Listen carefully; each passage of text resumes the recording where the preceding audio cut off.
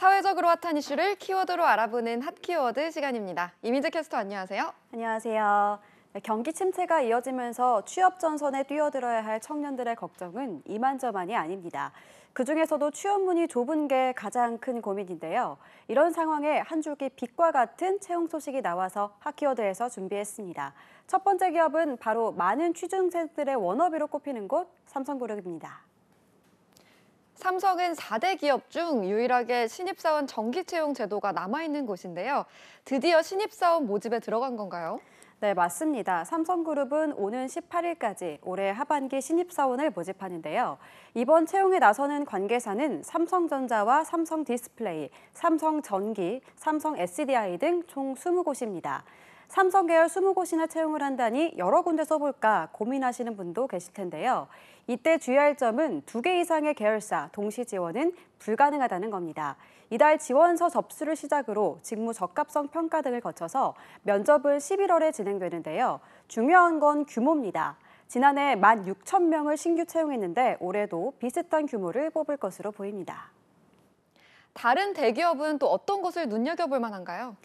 네, 최근 1년여 동안 기존 인원의 30%가 넘는 700여 명을 충원한 포스코 퓨처엠도 신입과 경력 전 부문에 걸쳐서 대규모 인재 채용에 나섭니다. 이 회사는 주력인 양극재와 음극재 등 배터리 소재 사업의 성장으로 매년 최대 매출을 경신 중인데요. 올해에도 채용 규모를 정하지 않고 인재 모집에 나서서 기대치를 높이고 있습니다. 한편 효성그룹도 하반기 약 200명의 채용에 나섰는데요. 1년에 한 번 지나가던 공채를 이번에 상반기와 하반기로 나눠서 진행하면서 채용 규모가 6개 계열사 포함 2배로 커졌습니다. 다음 주목할 곳은 바로 CJ그룹입니다. CJ그룹도 청년들 사이에서 주목받는 곳이잖아요. 네, 맞습니다. CJ그룹은 그제부터 하반기 신입사원 채용 절차에 들어갔는데요. CJ 제일제당, CJ 대한통운, CJ ENM, CJ 올리브영 등 주요 계열사로 서류 전형 합격자는 테스트와 1차, 2차 면접, 직무 수행 능력 평가 등 계열사별 맞춤형 전형을 거치게 됩니다. 앞서 삼성 계열사와 달리 CJ 지원자는 모집 계열사 중 한 곳만 지원서를 낼 수 있으니까 신중한 선택이 필요합니다. 본격적인 하반기 채용 시즌이 시작되면서 취업 준비생들 마음도 분주할 것 같은데요. 게다가 취업 문턱 점점 더 높아지는 상황이 아닌가요?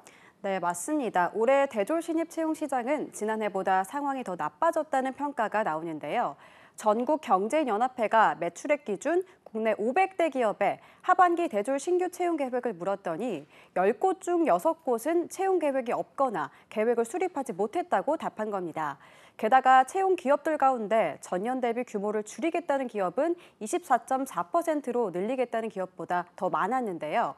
이렇다 보니까 올해 대졸 취업 경쟁은 작년보다 더 치열해질 전망인데 응답한 기업들은 올해 대졸 신규 채용 경쟁률을 평균 81대 1로 내다봤습니다. 네, 모처럼 담비 같은 대기업 공채 소식 전해드렸는데요. 현재 대학을 졸업하고 구직에 나선 청년 63만여 명이 능력을 힘껏 발휘할 곳이 더 많아졌으면 좋겠습니다. 지금까지 하키워드 이민재 캐스터였습니다. 고맙습니다.